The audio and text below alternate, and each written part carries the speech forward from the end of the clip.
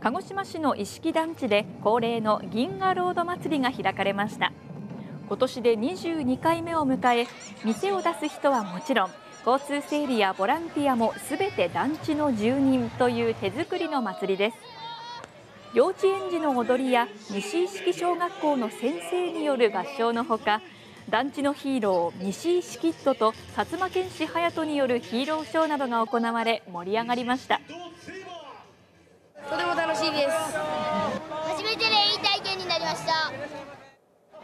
撮影は鹿児島市の MBC ふるさと特派員小谷真一さんでした。